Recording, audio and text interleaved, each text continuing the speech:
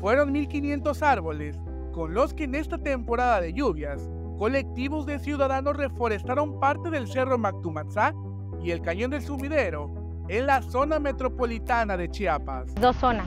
En la primera, que fue el Cañón del Sumidero, que sembramos más de mil árboles, y la segunda fase, que fue en el Cerro Mactumaxá, donde sembramos 400.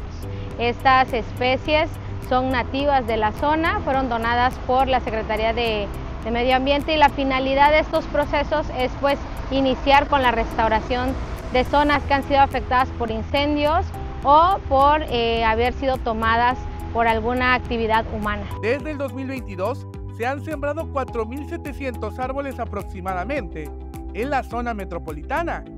Para este año, asociaciones civiles se unieron para sembrar árboles de diferentes especies, como el quebracho, bojón, mata-ratón, caubilla, tepeguaje y cedro. En su mayoría estos predios, pues lo que se requiere eh, es que eh, empiecen todo este proceso de restauración justamente por eh, todas las actividades humanas que, que tenemos y sobre todo para mitigar los efectos del cambio climático.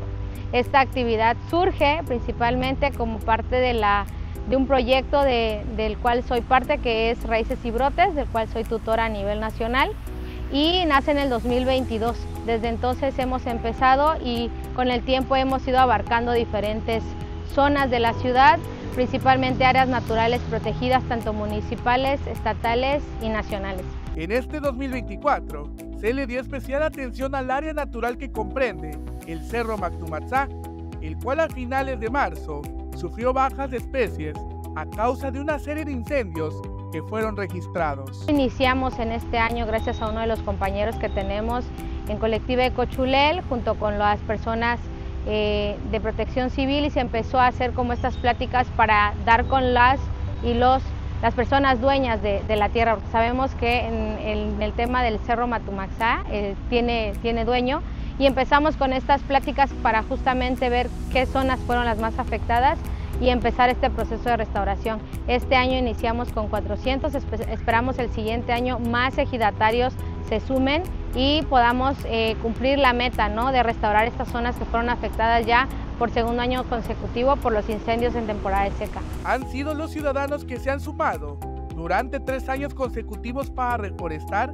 estas zonas de la capital de Chiapas, por lo que exhortaron a participar en las demás actividades que realizan semanalmente. Se sumaron empresas, organizaciones, artistas, lo cual hace que este hecho pueda, sea eh, también eh, dado a conocer a nivel internacional como algo que de verdad es un parteaguas para seguir haciendo cosas. Las invitamos a que sigan participando en estos procesos que nacen desde la ciudadanía y que es desde la suma de voluntad, ya que nosotros no contamos con ningún eh, insumo económico, más bien es la participación y las ganas de hacer junto con la ciudadanía y también a que visiten las páginas de Colectivo Ecochulel donde este fin de semana y casi todos los fines de semana tenemos una actividad.